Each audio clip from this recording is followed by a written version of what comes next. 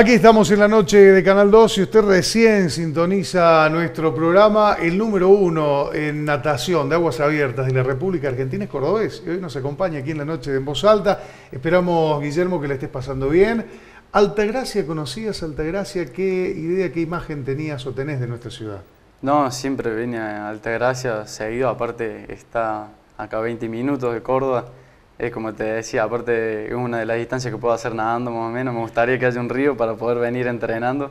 Eh, es una ciudad muy linda, he podido apreciar los lagos alrededor, así que muy linda ciudad, le, le envío bastante los lagos. ¿El doctor Lázaro Brunengo? El doctor Lázaro Brunengo es un grande, un gran amigo, un gran amigo que siempre está, estuvo mucho a disposición de la carrera ayudando para que se pueda realizar. Hay, hay gente que también se ha comprometido y que ha brindado el apoyo para que esta competencia se haga y yo sé que vos tenés que mencionarlos y tenés que destacarlos, ¿no?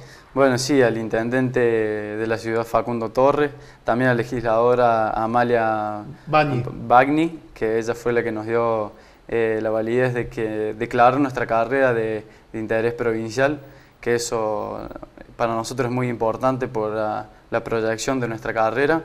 También al director de deportes, profesor Keith Vegan, que él nos, tuvo, nos dio a todos a predisposición los guardavidas para que puedan ayudarnos a, controlar a todos los nadadores, porque en eso yo la verdad la paso muy mal, hasta que no sale el último nadador eh, del agua, yo la paso muy mal, quiero que todos lleguen a tierra a salvo. Y después, bueno, a Nauticar, que también eh, está ayudándonos en, la carrera.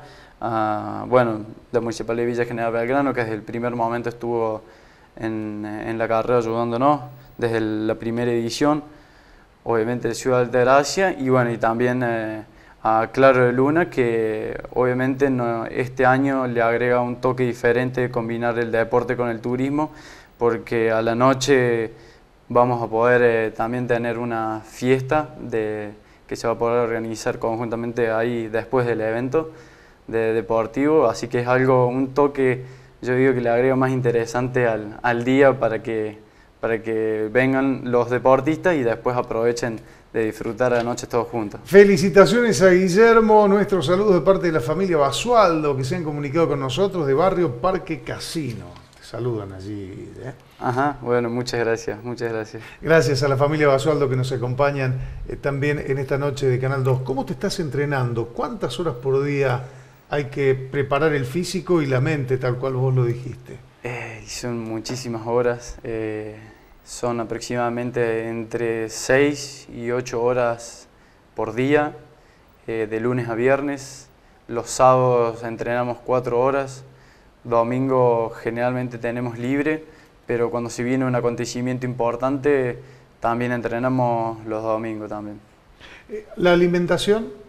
La alimentación es estamos nosotros controlados por un médico nutricionista que, bueno, siempre, como todo deportista, muchos carbohidratos y por las noches proteínas y, bueno, además una suplementación dietaria para, para poder, porque por ahí con la comida no alcanza, entonces por ahí tenemos que tomar aminoácidos, proteínas, eh, carbohidratos para poder aguantar la carga de metro. Eh, tomamos un día tuyo, un desayuno, ¿cómo es? Un desayuno es con cuatro tostadas de, el pan, de un pan bastante poderoso, o sea, bastante grande, tiene que ser tamaño lactal. Bien, cuatro tostadas de pan lactal. ¿Pan negro pan blanco? Como venga, como venga, no, hay, no hay problema. Cuatro. Cuatro con mermelada. Con mermelada. Sí, y un café con leche. Y un café con leche. Después ir a entrenar y después de entrenar, durante el entrenamiento tomo dos litros de agua con una bebida hidratante y después de entrenar eh, de vuelta... ¿La bebida hidratante puede ser Gatorade, Powerade? Gatorade o, o, algún jugo, un jugo que tenga un poco de glucosa para en el entrenamiento tener algo de azúcar y después de entrenar se vuelva a hacer como otro desayuno. Después, o sea, otro desayuno puede ser ese mismo café con leche con las cuatro tostadas. Claro, exactamente porque después de tres horas y media de entrenamiento uno viene con bastante hambre y bueno, los aminoácidos para eh, la recuperación muscular. Después un pequeño descanso, se viene el almuerzo. Después ¿Cómo es el almuerzo? Y el almuerzo, un plato de pastas y medio, por ahí siempre suelo comer. Y ¿Salsa? Salsa. ¿O aceite? ¿O, qué condimento? No, hay, no, tengo en eso. Lo importante es el, carbohidrato. El carbohidrato. El carbohidrato. Sí, después, cuando voy llegando a una competencia, sí voy eh, tratando de dejar las comidas pesadas como el carbohidrato lo como con aceite para que no me caiga tan pesado, dejar todo lo que sea pesado y todo lo que pueda digerir rápido, eso es todo lo que trato de comer antes de la competencia. Obviamente esto es algo que un médico nutricionista me dio. Sería, si alguien quisiera seguir eh, mi dieta, yo le diría que antes vaya a un médico nutricionista para, para, que, él dé la, la, Cada uno tiene su propio su propio metabolismo. Y la propia exigencia, no es lo mismo la exigencia tuya que la exigencia de una persona que hace otro tipo de vida, eh, no con un deporte de extremo rendimiento. Estamos en el almuerzo. ¿Hay algún postre en el almuerzo? Eh, una fruta. Una fruta. banana, manzana y después una buena siesta. Ya a mí me gusta dormir siestas de, de dos horas, no mínimo, no menos de dos horas para, porque si hay el mejor suplemento que hay es el descanso, es dormir. Eh, es aconsejable dormir 10 horas para, para, lo que se hace este deporte, mínimo 10 horas al día. Después, bueno, viene el entrenamiento a la tarde. Eh, en el entrenamiento de la tarde se entrena unas 3 o 2 horas y media con muchos trabajos de potencia. Después se va al gimnasio. ¿Hay merienda? No, de ahí. Ah, merienda antes, por supuesto, antes. ¿Cómo es la, misma que el desayuno? Pequeño snack, algo, dos tostadas. Bien. Para no llevarles como un trabajo más de potencia, más de calidad, es preferible estar un poco más liviano. Bien.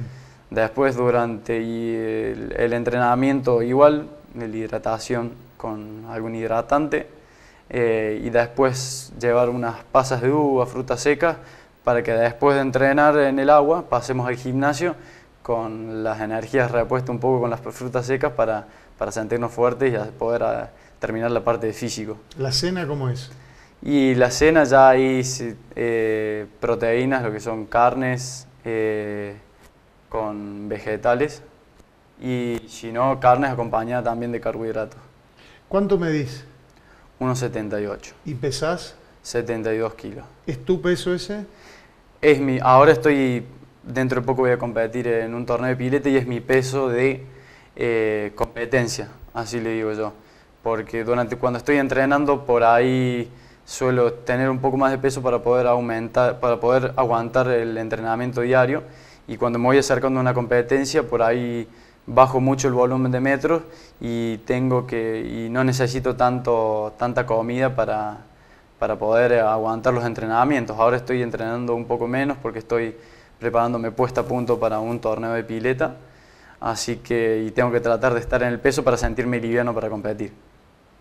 Bien, aquí estamos asistiendo a esta competencia y sus hombres y la exigencia que lleva a que uno tenga un eh, ritmo de vida y uno tiene que estar dispuesto a sacrificarse y a no abandonar. Y una pregunta que yo quería hacerte es, esto fue también para vos, sin ningún duda es una vocación, pero dedicarte a esto te ha significado tener también en otros aspectos de la vida una vida, valga la redundancia, también de privaciones, en la diversión, en la comida, en la alimentación, en las salidas, en la diversión. Y sí, eh, este deporte es un modo de vida, eh, porque uno no puede darse la, el mismo lujo que una persona normal, de acostarse tarde, eh, salir un viernes, salir un jueves. Yo no sé lo que es salir un jueves un viernes eh, y un sábado por ahí una vez cada dos meses como, como mucho y estando feliz de poder aprovechar un, sábado apenas. Pero uno siempre trata de, cuidarse y ser responsable y disciplinado, porque en este deporte eh, y a este nivel se requiere mucha responsabilidad y disciplina. Si bien uno por ahí no es tan difícil, porque cuando uno está en este estilo de vida, el entorno en que se rodea son todos deportistas, entonces por ahí lo de hacer un asado, un sábado, algo tranquilo con amigos del entorno del deporte y después irse a descansar y no sufrir de que vos estás comiendo el asado y después hay otros que salen de joda, no.